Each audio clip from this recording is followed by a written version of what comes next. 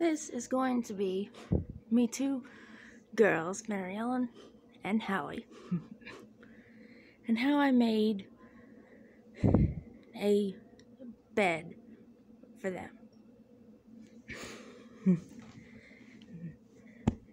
now, this is a very cozy bed. It's made out of a contour pillow. This is how I made it. Made it out of this contour pillow. It just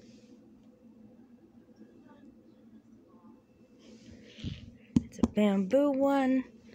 And it, you can take the case off. And I really like this case. I never take it off. And then I just put a cat blanket. It's just a small cat blanket. It has little little kitties and stars and it says cute cat on it. And it's just very cute. And I put the blanket over the pillow and smooth it out.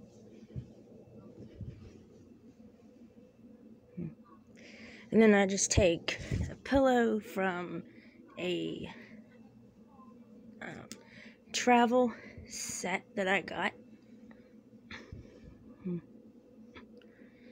That's a JoJo one.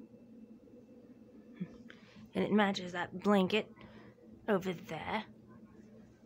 That little blanket over there. And then just put that at the top, like that. And then I took a baby blanket, and this baby blanket's seriously cute. It's got a sheep on it, and I've got more. I actually like me stripe one that I used for baby Elena better than this one. But this one's got clouds on it, and it's very pink.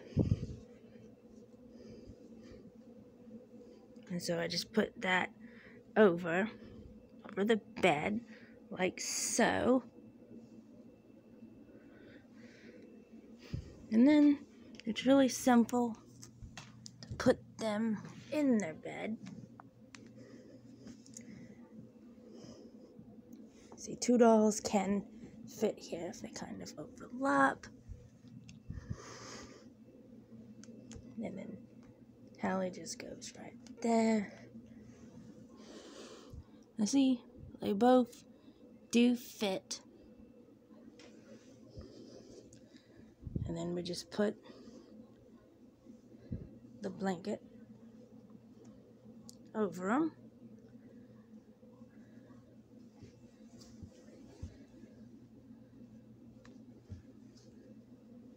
So that it looks like so. So that's the two of them ready for bed.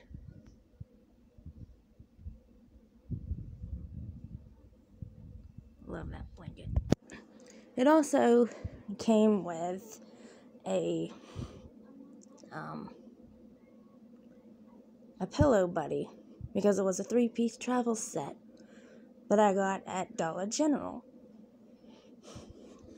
And I actually got it for Abby for Christmas in 2019. So, but she almost never uses the pillow. She likes her, um, rainbow emoji pillow that I got her. So, Maryellen and Hallie uses this pillow.